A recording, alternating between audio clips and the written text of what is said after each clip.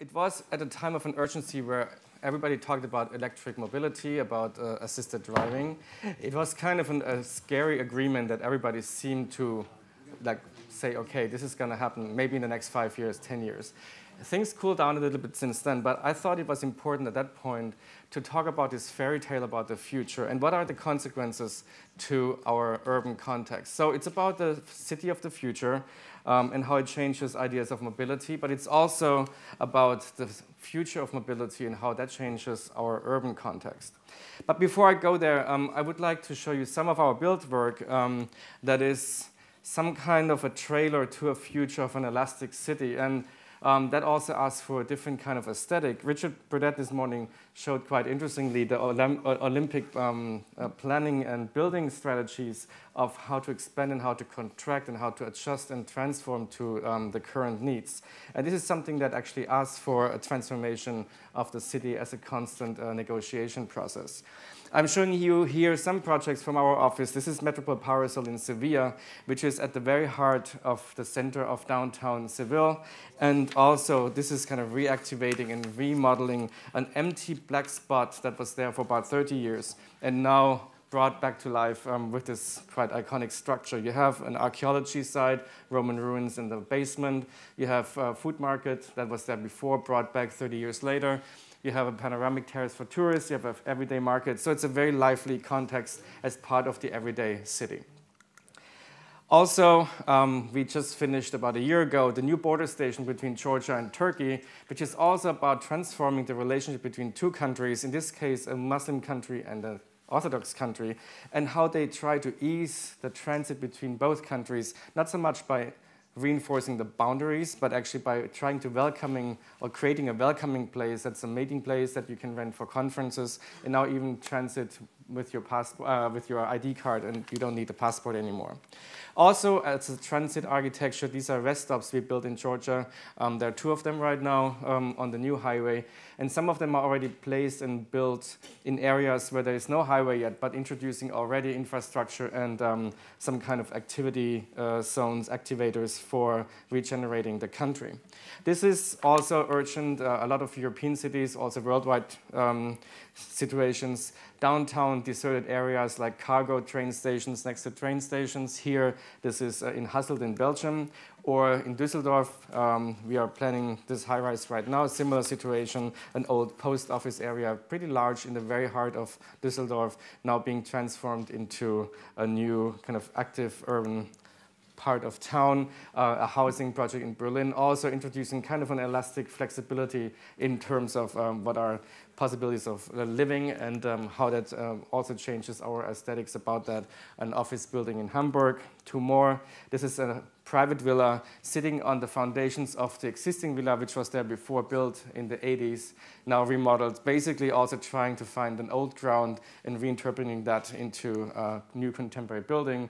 And if all this research and innovation also questions how we transform parts of the city, it also means how do we transform the idea of building and construction. And this is one of our um, quite early um, yeah, research projects and also build work. It's a dining hall for the University of Karlsruhe where the construction also has to be innovative, where we have to transform the way we build. This is a prefab wood building with a polyurethane coating and therefore also became part of a sustainable understanding how to improve the speed of construction, the cost, maintenance cost, um, what's the performativity of a building. All of these kind of building up the background of this fairy tale that I'm going to tell you now. It's called Away.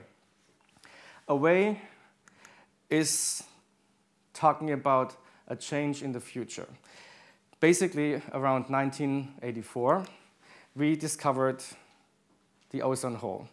But before that, I, before I start to continue with that, I wanted to show you the condition of driving as we understand it today. We call it Shiva driving. So you do everything else while you're driving, and we heard that also before. Um, we read, we smoke, we drink, we talk, um, but there's something on the horizon which is kind of a digital reality, and it might be closer than um, what we think. And today we already saw that um, it seems to be even closer than what we really think. So this future um, fairy tale can be put down in five categories. We call them change, digitalize, clean, mediate, and communicate. The first one change goes back to this discovery of the ozone hole. This was maybe around 1985. And this completely changed the way how we consume, how we produce, and how we move. I think everything that we talk about today kind of can be traced back to that kind of eye-opening moment where also ideas of sustainability are kind of framed and discussed for the first time. We had to think about what is an ecological way to save our planet. We talked about also, we had to think about how we can produce and be economical in a different way. It also changes the way how we socially relate to each other and the digitalization now shows us completely different ways than what we thought 25 years ago, 30 years ago.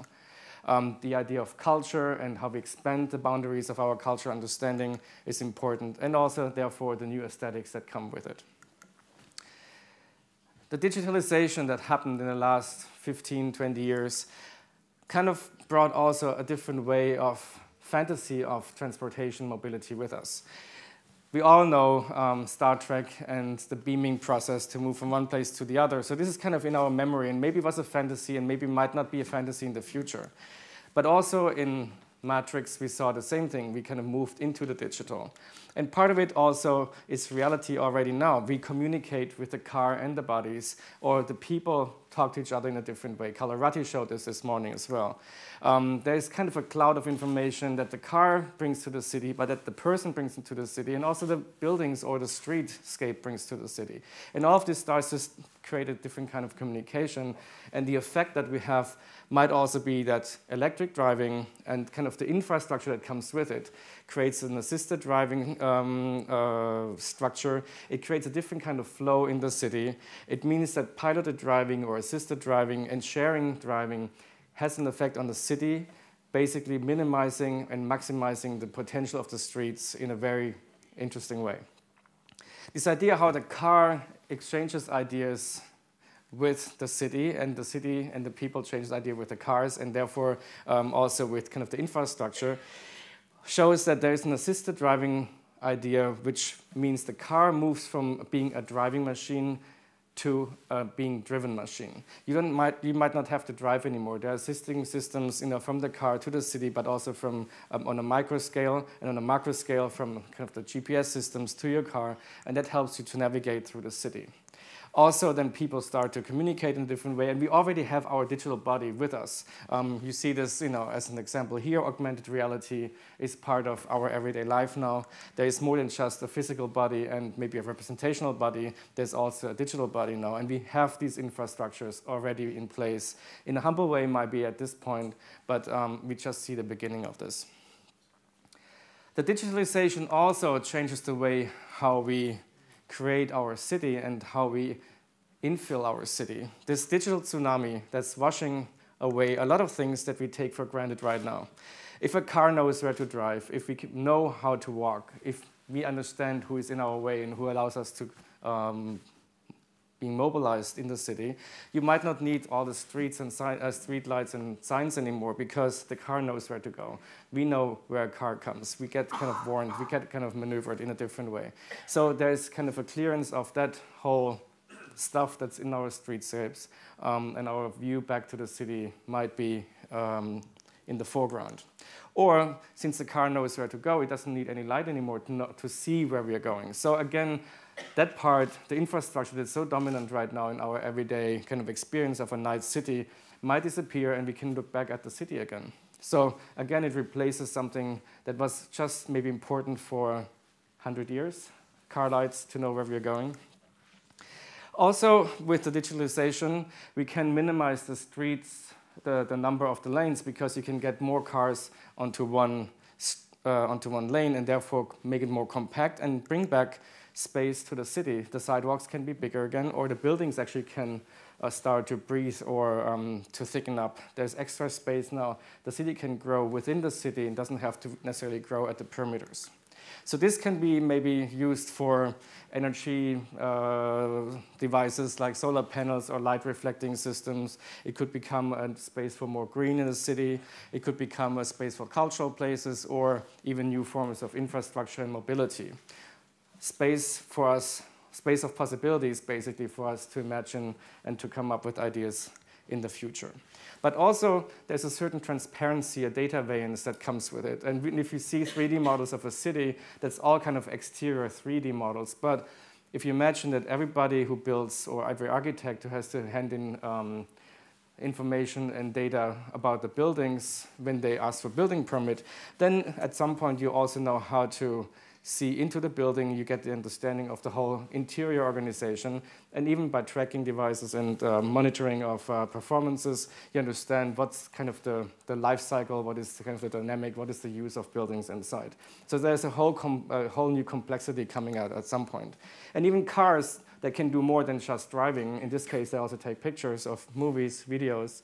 Um, ask then, of course, for a different form of protection and another blurring, another kind of erasing, where now you might be in control of what's visible or not. Um, or not the objects, but the buildings or the, the, the, cars or the persons itself who are moving actually can be blurred.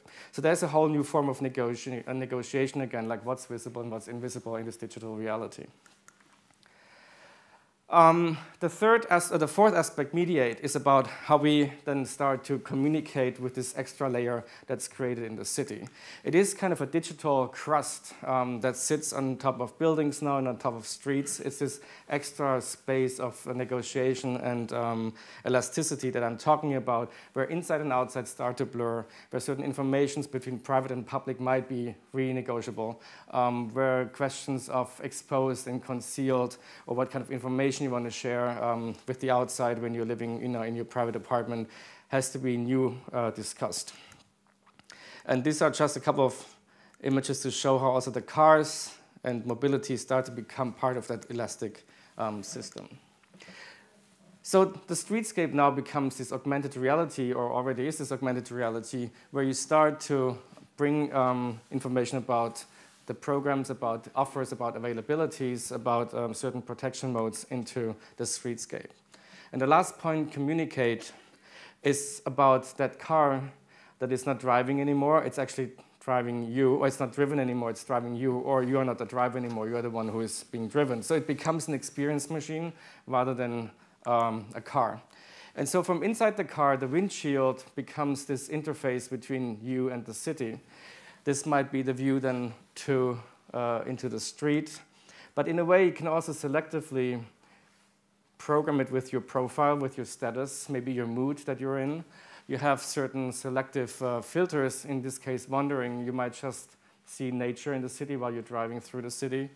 Um, or you're in the flirting mode, flirting status, um, and that might be kind of the space that you're navigating through the city it becomes kind of this new elastic poking city, something that is more of an um, uh, kind of a, a suggestion um, to react or to be involved rather than um, kind of a defined environment.